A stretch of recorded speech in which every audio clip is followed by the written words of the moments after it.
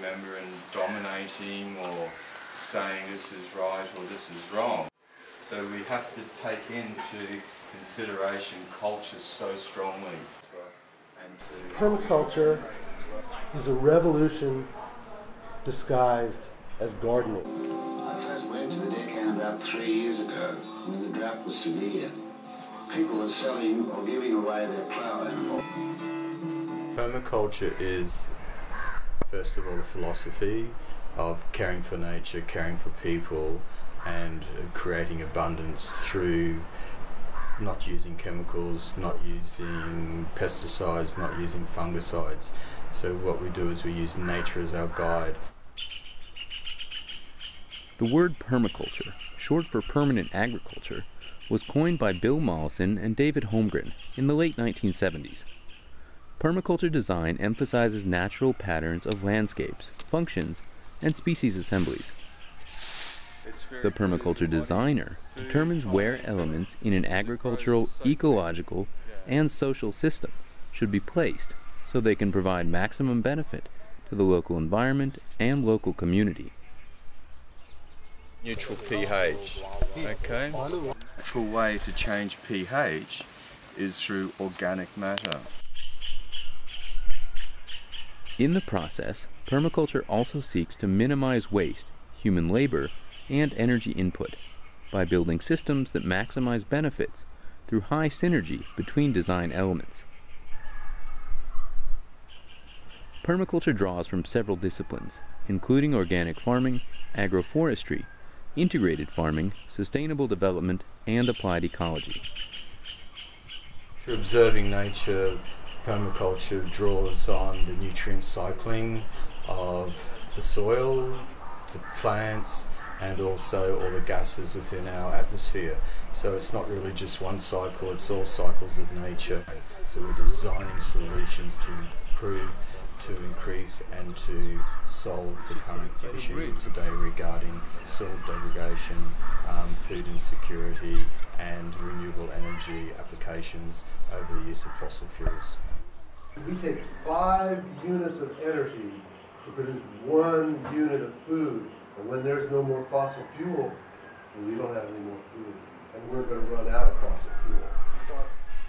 So that's why a global challenge is to reduce our fossil, fossil fuel usage through renewable energy alternatives and technologies. Permaculture design is also a regenerative, restorative process of healing land that has been degraded due to earlier practices which were heavily reliant on chemical fertilizers. By regenerating and restoring ecologies, permaculture also restores people and communities. We grow soil, and that is the, what permaculture design systems main objective is to do if we don't have healthy soil, we don't have healthy people, and then we don't have healthy plants. So therefore, how can the system of the, the ecosystems be sustainable for the long run? To design healthy soil, you need carbon, nitrogen, oxygen, water, and sunlight.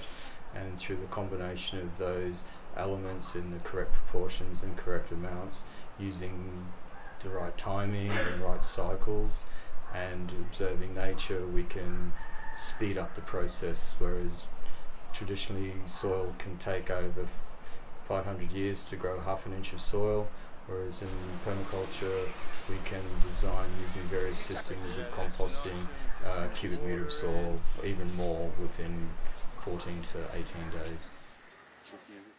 So while permaculture relies on ecological patterns, it also attempts to speed up and intensify natural processes through sound but sustainable scientific methods.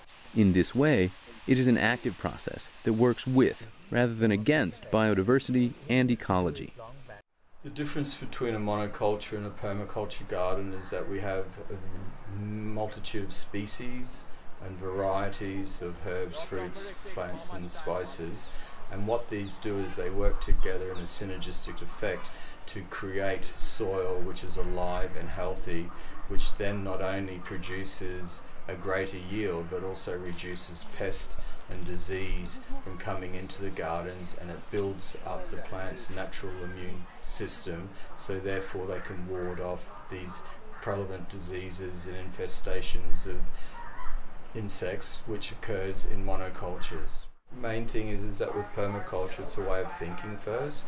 And so once you actually develop a permaculture way of thinking, then your life can become more self-sustaining and much more empathetic towards the way the world is today. And instead of being a problem-based sort of negativity towards that there's nothing that can be done, permaculture actually offers solutions. The ideas are spreading throughout India with students. Working with 120 villages in the Deccan, and the students in total would be working in more than a thousand villages. They have had a tremendous effect upon both the health of the people and their, their spirit, the way they feel about it. He alone is working with 120 villages in the Deccan, and the students in total